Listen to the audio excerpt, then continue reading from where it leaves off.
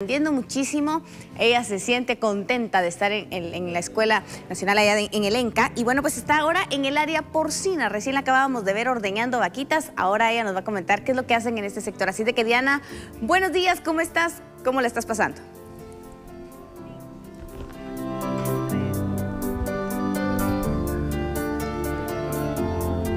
Ingrid, ¿cómo estás? Mira quién quiere salir a cámara. Mira cómo me la estoy pasando de bien. Yo estoy segura que nos hubiéramos venido juntas y esto fuera dinamita. Yo sigo recorriendo la Escuela Nacional Central de Agricultura. Ya me están esperando mis acompañantes y te cuento, en estos momentos vamos a ingresar a la granja porcina.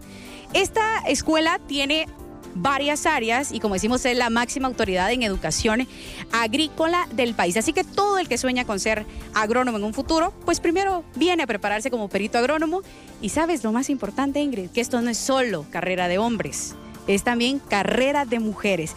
Y ya me acerco aquí con mis acompañantes, el director Vinicio Arriaga, el ingeniero, pues vamos a pasar a dónde. Diana, eh, ahora estamos en el área de producción de cerdos. Y para ello te quiero presentar a Gabriela Bernardes, que es estudiante también de tercer año, y que ella nos va a guiar y nos va a decir qué es lo que hace y todo lo que... Todo el, proceso. Todo el proceso de la granja de cerdos. Entonces, te dejo con Gabriela, te presento también al profesor Villacorta, él es el profesor del, curso de porcicultura. Entonces, eh, él va a calificar a Gabriela a ver si realmente aprendió. Desde ya le damos 100 puntos. Compañeros, Ingrid, por favor, quiero que veas cuál es el último grito de la moda aquí en la ENCA. Aquí la moda es tener la gorra en la pretina del cincho, del pantalón. Y sobre todo la combinación, mira, ante todo el glamour, eh, color más oscuro. Las botas sirven de protección. Gaby, ¿cómo estás? Hola, buenos días. Bien, sirven de protección y también para la bioseguridad que se ocupa acá en la granja. La bioseguridad estamos aprendiendo nuevos términos. Yo no traigo botas de hule, pero estas me las pasas. Sí. Sí. Por ser usted así. Hacer una excepción, pero si no nos jalan las orejas. Claro que sí. El ingeniero dice que va a tomar nota. Ok. Bueno, ¿qué te parece? Porque esto es rápido, la televisión es muy rápida. Vamos a ingresar en este momento a la granja porcina.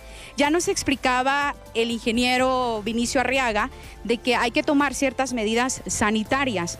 Y justamente ahora eh, vamos a pasar por una pileta que ya Gaby nos va a explicar qué químico al final tiene para desinfectar las botas. Gaby, ya estamos aquí listos para pasar esa pileta. ¿Será que no me mojo los pies? Bien, pero las puntitas. Acá estamos en, el, en la antesala. Eh, la pileta tiene, eh, contiene amonio cuaternario. Esto sirve para la bioseguridad y para evitar enfermedades que se pueden presentar dentro de la granja. todas las personas tienen que pasar por, con botas de hules, con botas de hule acá para. Desinfectar todo eso. Amonio que ni me pregunten. Yo por eso me quedo en la tele. Bueno, vamos a pasar, Gaby, ¿te parece? Vamos a sumergir los pies. Señores, espero no mojarme. Miren. Solo vamos a mojar las suelas. ¿Y cómo hago para pegar el brinco? no, creo que voy a meter todo, fíjese. Aunque después me moje. ¡Ay, sí me entró agua! Se me mojaron los pies. Bueno, pero hay que tener todas esas medidas sanitarias. A nuestro camarógrafo también le sucedió lo mismo si lo vieran haciendo muchas cosas. Bueno, vamos a pasar ya. Es como decir la sala de maternidad, compañeros. ¿Cuántos cerditos acaban de nacer?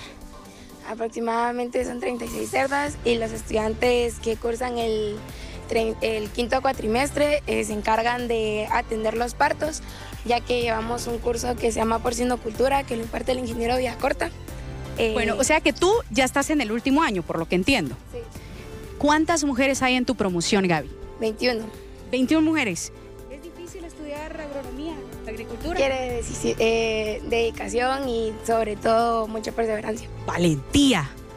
Bueno, ¿y has sentido que hay división de género o para nada? Aquí los hombres con mujeres y todo. Eh, sí, acá nos tratamos por igual y siempre nos dan nuestro lugar. Gaby, dime la verdad. ¿Hay consideraciones cuando uno es mujer? Un, poco, un, poco. Por ejemplo, ¿cuáles son esas consideraciones que te han hecho tus catedráticos? Mm, pues en cursos nada que ver, pero... En el conocimiento, miren, está demostrado que el hombre tiene el cerebro más grande. Eso no lo digo yo, lo dice la ciencia. Y la mujer más pequeño. Ojo, esto no quiere decir que ustedes los hombres sean más inteligentes. Aquí en el área académica ninguna distinción, pero sí en el área técnica, Gaby. Eh, más que todo por levantar costales y hacer esas cosas. Señores, llegamos donde los cerditos. Ingrid, estarías que enloqueces en este momento. Aquí también hay que pasarnos las botas por la mañana Me mojo el otro pie. Metemos uno, ya no me quiero mojar. Miren cómo, cómo voy. es que de verdad me mojé toda. Bueno, por eso hay que usar botas de hule. Tal vez nuestro, nuestro compañero Mario, miren eso. El amor de madre se demuestra siempre. No importa la especie ni la raza. Miren qué lindos los cerditos. Bueno, vamos a comenzar este recorrido. Ya nos decía Gabriela, eh, estudiante del tercer año, del último año de perito agrónomo, de que eh, son 36 cerdas. ¿Hace cuánto tiempo fue que, que parieron las cerdas? Una está pariendo ahorita. ¡Ay, está pariendo! Vamos a ver, Gaby, vamos rápidamente, miren. Está teniendo bebés, así que para todo, para el mundo entero, acaba de parir. Eh, Estamos en el área de maternidad. La escuela cuenta con dos maternidades. Tiene 18 jaulas cada maternidad. Eh, la capacidad de la granja actualmente es de 80 vientres. Eh, las cerdas acá pasan cinco días antes de parir del área de gestación para maternidad. ¿Y qué cuidados debe tener la cerda? Porque eh, hace como unos 5 o 10 minutos terminó el proceso de parto? Eh, hay dos tipos de partos, el parto normal y el, parto distóxico. Cuando un parto se torna distóxico eh, hay que intervenir nosotros. Esto se hace, como les estaba comentando, eh, al inicio los estudiantes del quinto cuatrimestre cuando llevan el curso de porcinocultura tienen asignada una cerda, entonces ellos tienen que cuidarla. Que cuidarla, así que si algo le pasa a la cerda, ahí ya pierden el curso. Mire, por cierto, son 96 años los que en esta oportunidad cumple la ENCA, así que todos los egresados que nos puedan estar viendo, queremos saber cómo se sienten, porque eso es orgullo nacional. Al 5691 77 82 pueden enviarnos esos comentarios y festejar y celebrar, por supuesto, a la ENCA y a las nuevas generaciones. Miren, estos cerditos acaban de nacer. Nos dicen que tienen aproximadamente, ¿cuánto tiempo de haber nacido? Tienen Ah, bueno, dice que como 18 horas, no era tanto de 10 minutos, 18 horas de haber nacido, están rosaditos.